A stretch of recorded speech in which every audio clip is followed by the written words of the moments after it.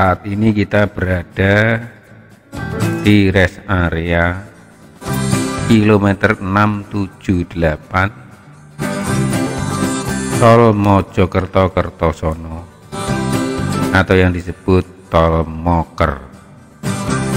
Kita akan mengikuti kendaraan dengan spesifikasi off-road menurut saya dan melintasi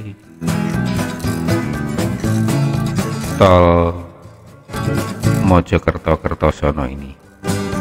Saat ini kita berada di rest area. Pada dasarnya kita mengenal tiga tipe rest area.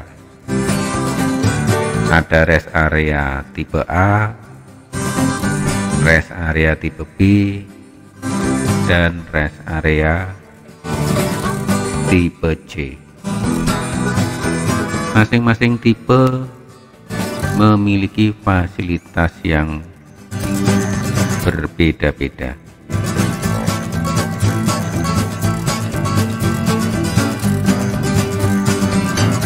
Rest area tipe A biasanya memiliki luas mencapai 6 hektar.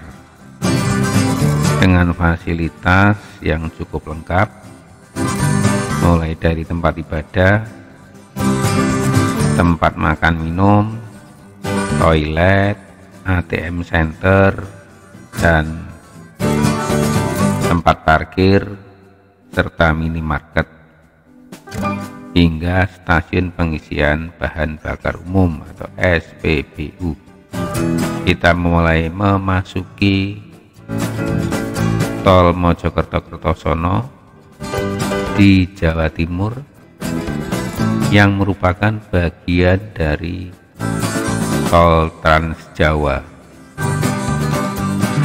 Tol Trans Jawa ini rencananya membentang dari Merak di Pelabuhan Banten sampai ke Pelabuhan Ketapang di Banyuwangi.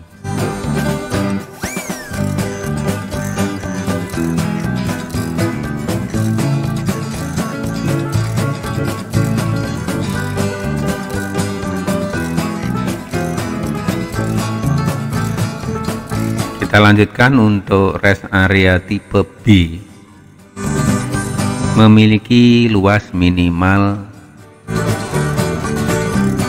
hektar dengan fasilitas minimarket, toilet, tempat parkir,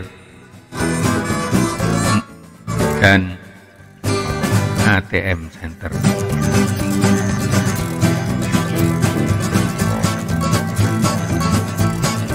Sedangkan min rest area tipe C memiliki luas minimal 2500 meter persegi atau dua setengah hektar dengan fasilitas toilet, minimarket, tempat ibadah dan tempat parkir.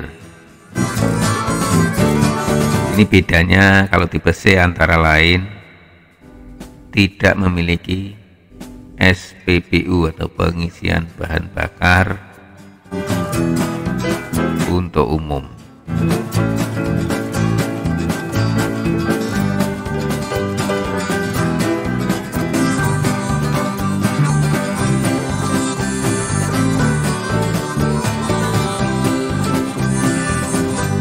Di tol Trans Jawa setidaknya disediakan satu rest area untuk setiap 50 km